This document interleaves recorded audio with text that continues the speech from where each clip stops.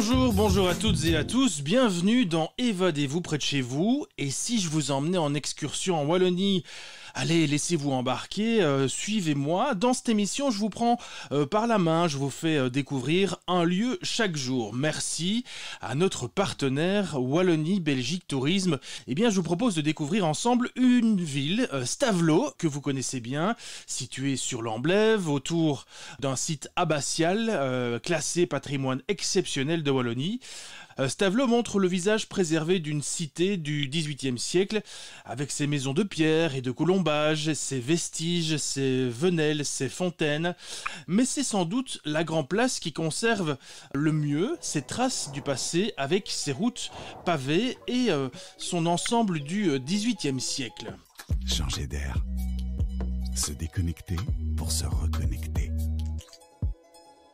Se vider la tête se nourrir l'esprit. S'égarer pour mieux se retrouver. Découvrir. Se découvrir. Se sentir libre. Destination Wallonie. Pour s'évader. Faites le plein d'idées sur. Alors avant de découvrir mon premier invité, eh bien, je vais vous euh, dresser la carte d'identité de Stavelot, 70 000 habitants. On les appelle les Stavelotins, les Stavelotaines.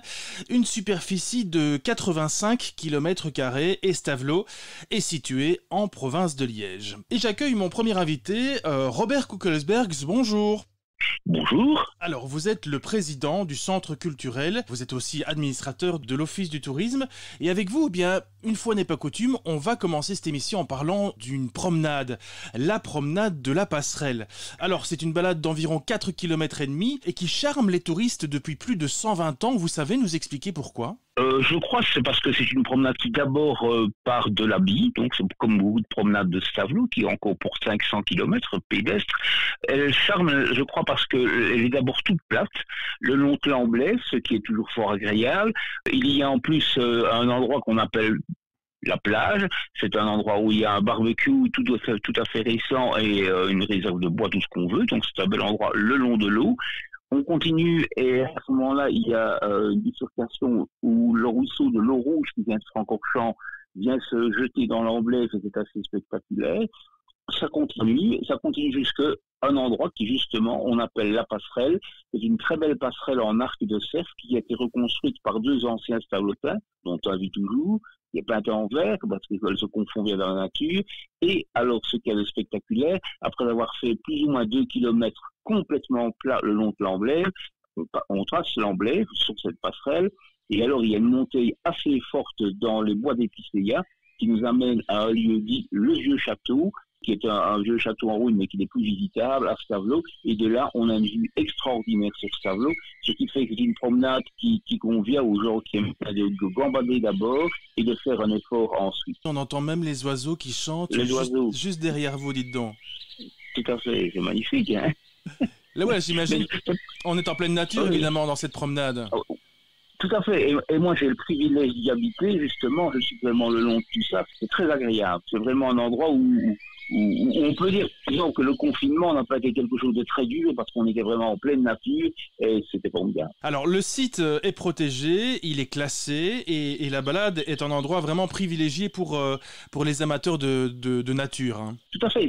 C'est d'ailleurs, euh, et en parlant de, cette, de ce confinement, c'est vraiment une promenade, la préféré des là aussi, plein de touristes. Il y a aussi des vélos, mais VTT, parce que cette fameuse remontée du vieux château, je ne sais pas exactement le pourcentage, mais je vais vous dire, je suis ici à ma fenêtre je vois le sommet de ces bois, ben il vaut mieux de le faire à pied ou, de le faire avec euh, une bonne canne pour le faire, parce que c'est vraiment assez abrupt. Comment peut-on faire pour euh, ben, commencer, débuter cette promenade Elle part d'où Vous disiez de l'abbaye, c'est bien cela?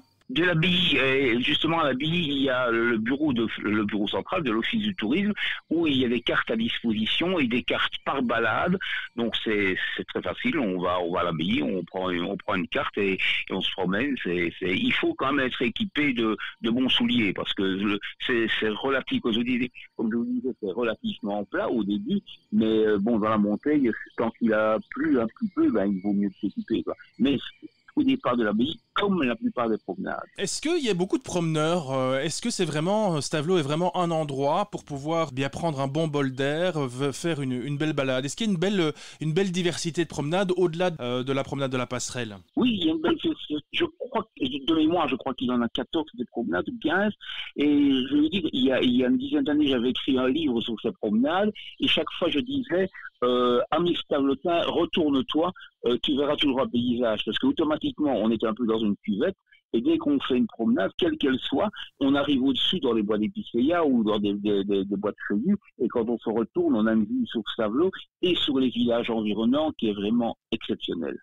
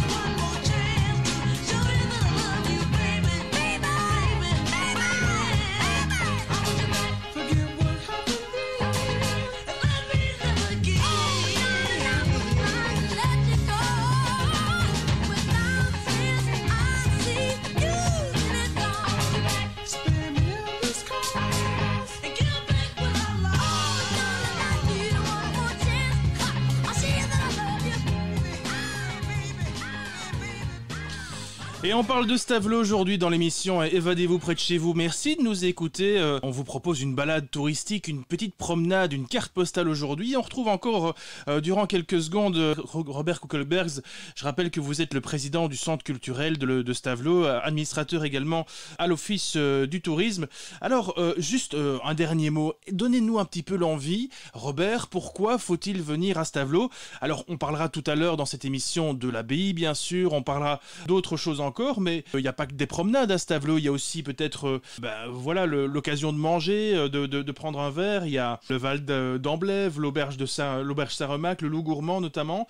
quelle est votre raison à vous? Pourquoi faut-il venir à, Stavelot selon vous? Il y a des années, j'ai créé un slogan qui s'appelle Stavelot, ville, passion en toute saison. Pourquoi? Parce que je je suis pas Stavelotin, mais il y a 50 ans que j'y habite. Il y a toujours quelque chose qui se passe, il y a quelque chose euh, qui, est pas, qui attire, etc. Et les gens qui viennent en général reviennent. Euh, des choses, vous, vous parlez des restaurants et tout ça, il y a aussi une magnifique pizzeria un peu plus loin à l'entrée de Stavlo, euh, qui est très bien décorée. Et je crois qu'un un, élément aussi, et ça n'existe nulle part, j'ai mes autres communes avoisinantes, mais ça n'existe nulle part quand on est aux terrasses des, des cafés ou des établissements RECA du centre-ville, on a une vue magnifique sur toutes les campagnes au-dessus, sur les collines au-dessus, c'est verdoyant, c'est une chose qui est extraordinaire euh, pour, pour passer un bon moment respirer un bol d'air frais aussi, et euh, il se passe toujours quelque chose. Euh, par exemple, cet été-ci, tous les dimanches, on organise sur l'esplanade entre les cafés et la donc c'est vraiment un endroit très privilégié, Stavlir, c'est une foire du livre réservée aux seuls bouquinistes professionnels. Ça se fait tous les dimanches, donc c'est un peu comme Paris sur scène, euh, sur la scène, mais on a l'orblève. Donc c'est quelque chose qui se passe toujours quelque chose. Outre le létaré, les festivals, etc., il y a toujours quelque chose à ce tableau pour, pour s'amuser, pour se cultiver euh, et pour marcher. Merci Robert Kuckelbergs et puis on continue l'exploration de, de Stavlo dans un instant. Destination Wallonie, tout pour s'évader. Faites le plein d'idées sur visitewallonia.be. Et j'ai le plaisir d'accueillir Patrice Lefebvre. Bonjour. Bonjour. Vous êtes euh, échevin du tourisme à Stavelot et puis surtout, vous, vous êtes ancien professeur d'histoire, féru d'histoire euh, locale en tout cas. Alors avec vous, on va parler un petit peu du cœur historique de Stavelot parce que c'est vrai que c'est une vraie particularité. On voit vraiment une... Enfin, la ville a vraiment conservé des vestiges et des vestiges principalement du XVIIIe siècle, c'est bien ça? C'est exact, oui. Euh, il faut savoir que la ville a été détruite par les armées de Louis XIV à la fin du XVIIe siècle et elle a été reconstruite dans la foulée et principalement euh, au début du, du XVIIIe, ce qui fait que le, bâti appartient vraiment euh, au XVIIIe siècle. L'endroit vraiment qui, euh, qui, conserve le mieux encore, c'est vraiment la, la Grand Place en fait. Tout à fait, oui, c'est la Grand Place, appelée aujourd'hui Place Saint-Remacle et qui se nommait autrefois place du marché parce que il y avait un grand marché rural qui était établi là depuis le Moyen Âge. Donc cette place est assez exceptionnelle par ses dimensions, est entièrement pavée avec des, des galets de, de l'emblève. Euh, toutes les façades sont classées parce que ce sont des façades 18e siècle qui mélangent d'une part euh, la pierre et d'autre part l'ardoise, une ardoise qui euh, recouvre euh, des colombages. Et alors au centre de la place se trouve un monument assez exceptionnel. C'est euh, une fontaine, une fontaine Perron de 1769. Il y a une particularité unique, je pense, pour les, fontaines de cette époque, c'est qu'elle est gravée d'un chronogramme. Ce chronogramme, en fait, révèle l'année d'érection de la fontaine. Il y a un texte latin qui dit que voilà, au moment de, la construction de la fontaine, des fleuves de paix nous inondent. Et lorsqu'on lit ce texte latin, on remarque euh, des lettres gravées qui sont en majuscules. Quand on additionne euh, ces majuscules, parce que ce sont des chiffres euh, romains, quand on additionne ces majuscules, on trouve l'année 1769. Une place qui est vraiment, elle est en pente. Elle est en pente, oui. Voilà, et, et ça, ça, donne vraiment un cachet particulier au centre de Stavelot. Hein. Oui, ça donne un, cachet tout à fait extraordinaire. On, ne connaît pas de, de, place dans une ville de, de notre importance de place identique. Et puis c'est une place qui est particulièrement importante, au moins une fois dans l'année. Euh, J'imagine que vous allez tout de suite reconnaître hein, si, je vous, si je vous fais ceci.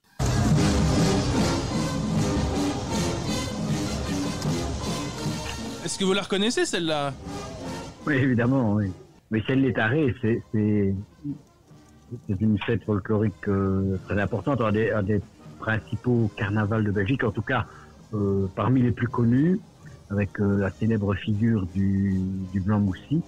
Et donc le, cortège militaire aboutit chaque année sur la Grande Place. Il y a un rondeau, une espèce de danse qui est chargée d'accueillir le printemps, hein, comme dans toutes les traditions carnavalesques.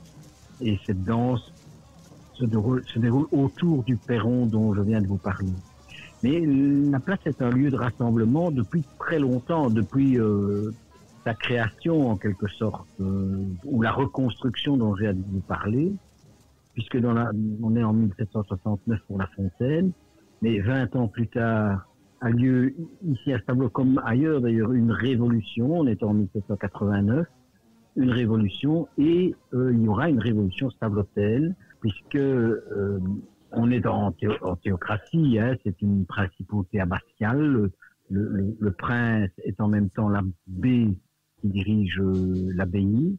Il y a une révolte populaire contre lui et les rassemblements, euh, vont, vont, les rassemblements de la population vont se dérouler sur la sur la grande place.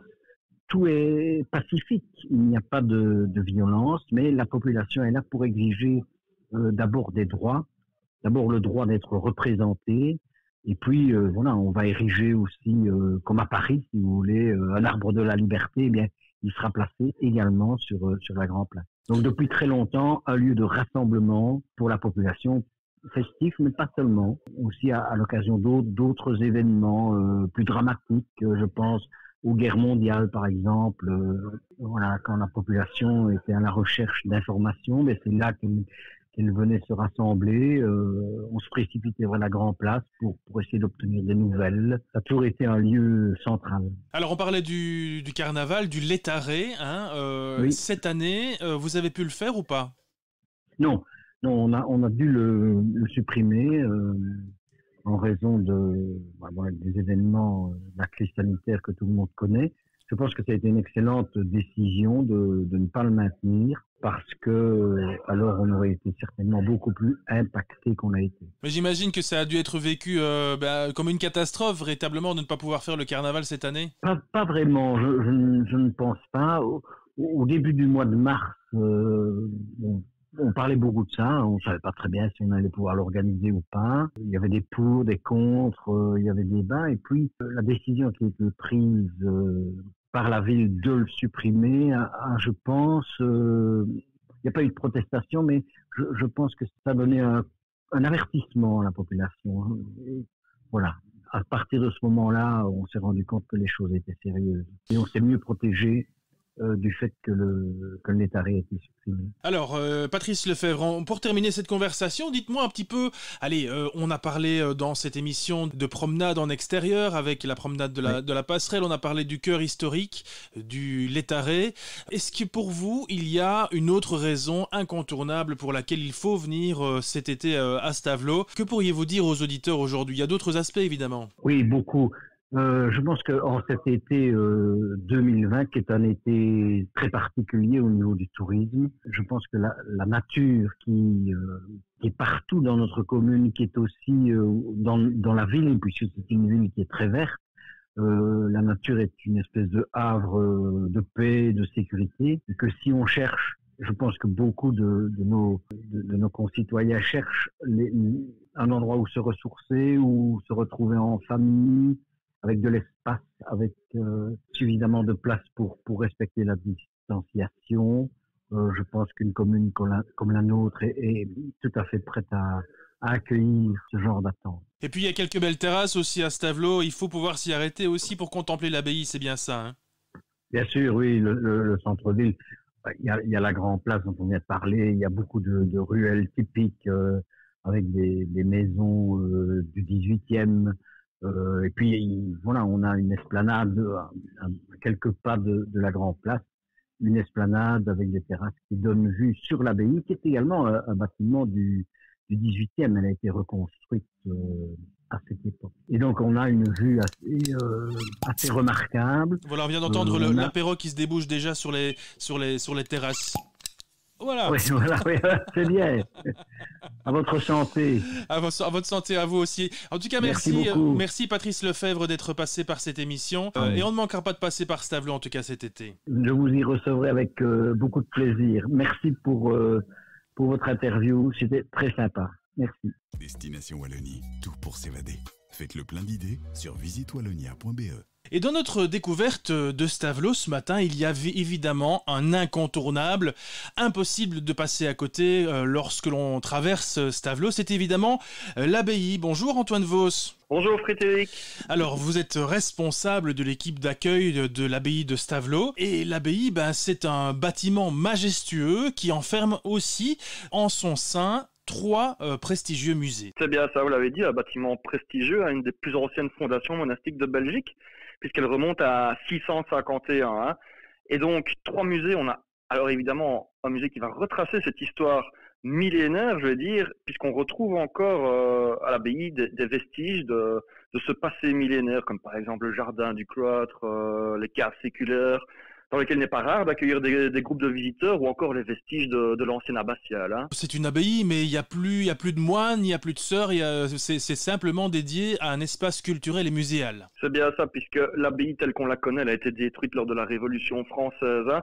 Et du coup, en 2002, avec le concours du gouvernement wallon, on a réhabilité ce qui restait euh, des lieux en institution muséale pour en renfermer trois permanents. Alors, si on détaille en, quelques mots, il y a le musée euh, historique de la principauté de, de Stavlo-Malmedy, il y a le musée du circuit de Spa-Francorchamps, et puis le musée euh, incontournable Guillaume Apollinaire. Le premier musée, c'est un incontournable, c'est le musée historique de l'ancienne principauté qui va raconter cette histoire des princes abbés, puisqu'ils ont régné en maître absolu hein, sur euh, les Ardennes jusqu'à la Révolution française, à la destruction de l'abbaye. Le parcours dans ce musée, il va permettre d'un peu mieux comprendre comment euh, ces vestiges qui sont encore là ont pu rayonner sur toute l'Europe. Hein. Alors l'autre musée, c'est celui qui est dédié au plus beau circuit du monde, le musée du circuit de Spa-Francorchamps. Celui-ci, il se situe dans les caves voûtées de l'abbaye. Et alors, il retrace logiquement lui aussi une histoire, mais celle du circuit et des exploits automobiles dont il a été le théâtre. Hein. Ce qui vaut essentiellement la peine, je veux dire, dans le musée, c'est surtout sa collection de véhicules d'exception, voitures comme motos, puisqu'on y retrouve notamment une collection euh, des demoiselles de Herstal, donc, hein, qui, évoque l'histoire régionale des, des, grandes industries liégeoises, à la FN, Gilet ou encore Et vous l'évoquiez enfin, le musée Apollinaire, c'est le seul musée au monde consacré aux poètes français, mais à. Pourquoi me direz-vous Tout simplement parce qu'à l'âge de 19 ans, à l'été 1899, Apollinaire a vécu à Stavelot. Et c'est une période qui a grandement influencé son œuvre. Il a notamment pu y écrire euh, les seuls poèmes en wallon euh, qu'on retrouvera dans les écrits d'Apollinaire. L'abbaye de Stavelot, inscrite comme patrimoine majeur de Wallonie. Évidemment, si on vient à Stavelot, euh, c'est un incontournable. C'est évident. D'ailleurs, c'est l'endroit idéal pour y passer la journée entière, puisque trois musées à visiter, ce n'est pas rien. Le ticket donne accès aux trois musées. Et alors, une fois que c'est terminé, on est un peu assoiffé. Alors, c'est le moment ou jamais de se désaltérer au café des musées à l'abbaye pour y déguster une super bière d'abbaye. Attention. Voilà c'est bon. Santé assis. Merci Antoine Voss euh, d'être passé euh, par l'antenne. On reste dans, un instant, on reste à l'abbaye de Stavelot. On parlera en, euh, bien évidemment de l'exposition qui est en cours actuellement et qui mérite le détour. Mais avant toute chose, on fait une petite pause musicale.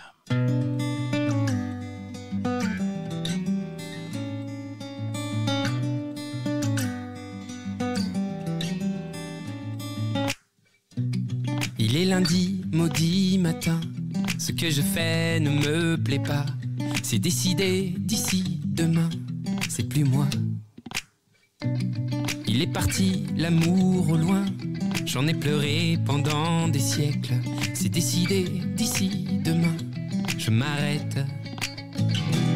Je fais de la vie mon drapeau. Je vois la vie comme un cadeau.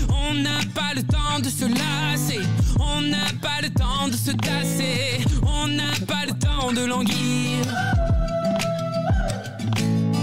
On n'a pas le temps, mais des années. On n'a pas le temps, non, mais la paix. On n'a pas le temps de languir.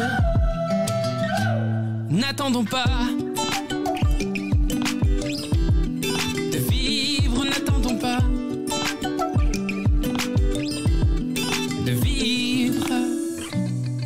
jamais venu l'ami, l'ami qui promettait la lune. Demain je décroche sans lui, Saturne. Il n'est jamais venu le train, le train qui mène au paradis. Demain je mène mon chemin sans lui. Je fais de la vie mon drapeau, je vois la vie comme un cadeau. On n'a pas le temps de se lasser, on n'a on n'a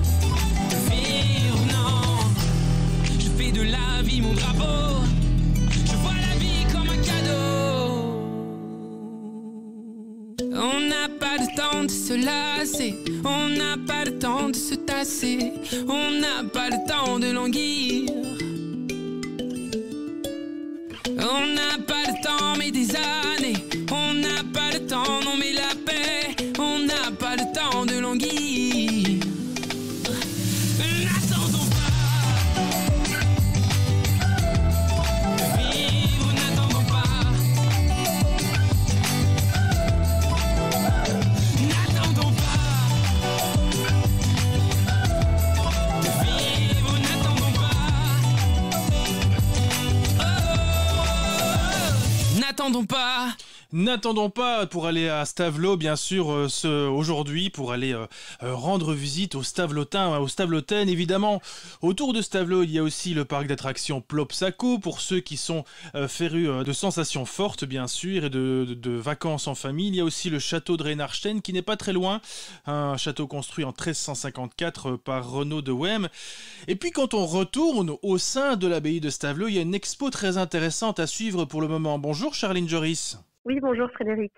Alors vous, vous êtes responsable du service éducatif euh, de l'abbaye de Stavelot. En ce moment, eh bien, il y a une expo qui, est vraiment euh, sympa à aller voir, une expo euh, nationale géographique. C'est une grande exposition photo. C'est la première fois qu'elle vient, euh, qu'elle vient en Belgique. Et donc, on retrace euh, 130 ans de voyage et d'exploration, puisque le magazine a été créé en 1888.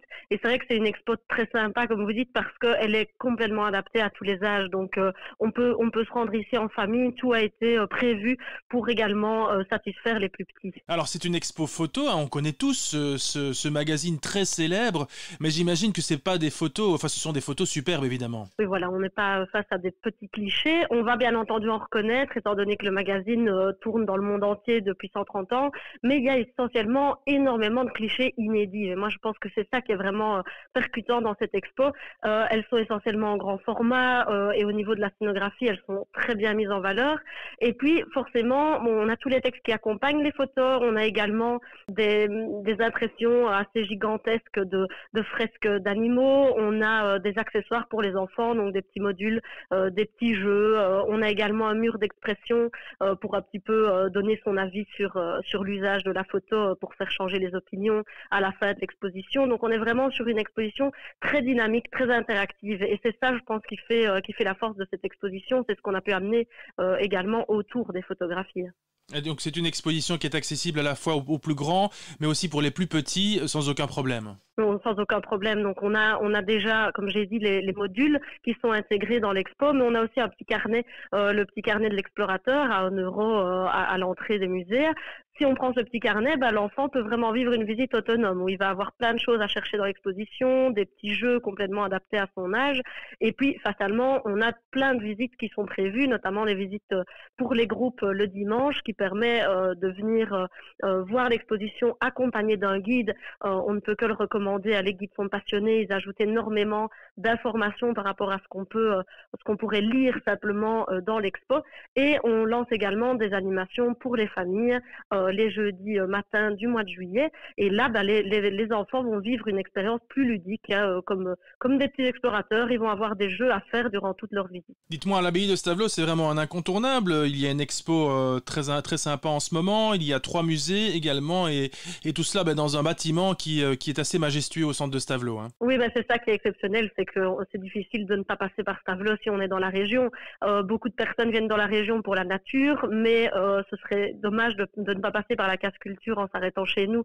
C'est sûr, comme le disait mon collègue, bah, il y a également aussi de quoi passer la journée puisqu'on peut euh, manger euh, ici. On peut également prendre un petit souvenir à la boutique avant de repartir. Et puis, ce qui est intéressant ici entre, entre notre expo et, et l'abbaye, c'est vraiment cet ancrage local et l'ancrage international. Euh, c'est quelque chose qui plaît euh, fameusement. Eh bien, on termine l'émission avec vous, Charline Joris. Merci d'être euh, venue ce matin dans l'émission Évadez-vous près de chez vous. On ne manquera pas d'aller faire un petit tour à Stavelot cet été. Il y a, vous l'aurez compris, eh bien, beaucoup de choses à voir, beaucoup de choses à faire, à se promener et aussi flâner sur les terrasses de Stavelot. Euh, merci et on vous souhaite une excellente fin de journée. Merci à vous aussi. Au revoir.